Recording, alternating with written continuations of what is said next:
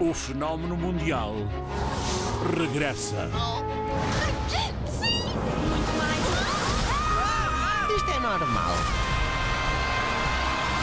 Frozen 2. Já nos cinemas.